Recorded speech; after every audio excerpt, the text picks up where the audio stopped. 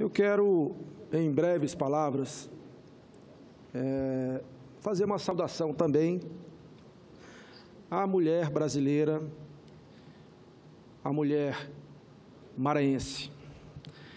Eu quero saudar todas as mulheres aqui, colegas senadoras, que conosco divide essa atribuição de representar os nossos estados aqui no Senado Federal. Tem na figura da senadora Marta, que estava conosco até há pouco, a homenagem em nome de quem cumprimento todas as senadoras eh, do Senado brasileiro e com muito orgulho também faço parte. Quero cumprimentar para homenagear as mulheres da minha família, a minha mãe e a minha esposa. Quero cumprimentar as pessoas que trabalham conosco aqui no Senado Federal, as mulheres, na pessoa da Carol, que está ali, e em nome dela cumprimento todas as mulheres que trabalham conosco aqui no gabinete de São Luís, de Brasília, de São Luís e de Imperatriz do Maranhão. E, claro, quero fazer uma saudação também muito especial à mulher maranhense, na figura da quebradeira de coco, de coco babaçu. Para mim, é quem tem a cara, o rosto, a face da mulher maranhense. Eu sei que centenas de milhares estão labutando no dia a dia e que merecem hoje e todos os dias as nossas homenagens. Mas, senhor presidente, o mundo inteiro celebra hoje o Dia Internacional da Mulher.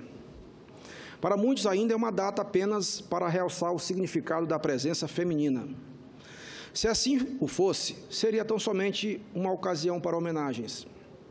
Mas a verdade é que esta data é muito mais que isso. Ela faz parte de uma ação estratégica afirmativa para chamar atenção para os terríveis problemas que afligem, em boa parte, todas as mulheres do planeta. Questões como a violência contra a mulher, a divisão sexual do trabalho, a precarização do trabalho feminino, a jornada tripla, a disparidade salarial, a criminalização do aborto, para citar alguns exemplos. Recolhi de um interessante artigo publicado pela jornalista Letícia Sorg, do jornal O Estadão, uma lista de motivos que respondem à singela pergunta: por que precisamos celebrar o Dia da Mulher? Em primeiro lugar, porque as mulheres trabalham, em média, sete horas a mais que os homens, a cada semana. Considerando a jornada dentro e fora de casa, elas somam 53,6 horas de trabalho e os homens 46,1.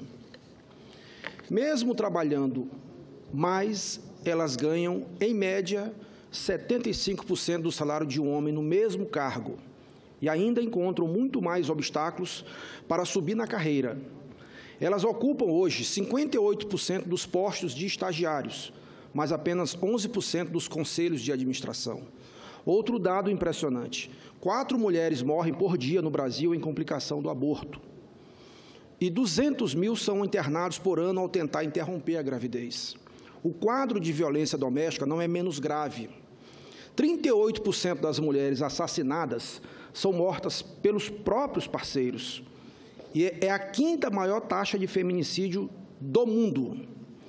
Segundo os números oficiais, uma mulher estuprada no Brasil a cada 11 minutos Considerando que muitas deixam de denunciar a violência, a frequência pode ser um caso por minuto, ou mais de meio milhão de mulheres vítimas a cada ano.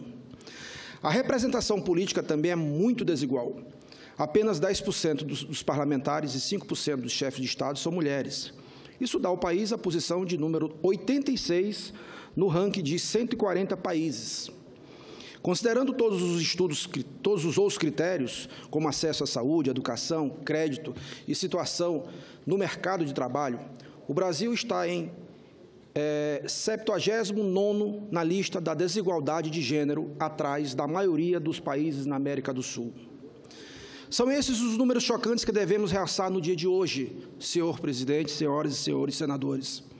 Que a luta das mulheres prossiga sem trégua, todos os dias do ano, para que o Dia Internacional da Mulher venha a ser um dia de celebração e júbilo, e que esses números da desigualdade de gêneros sejam coisas verdadeiramente do passado. Muito obrigado.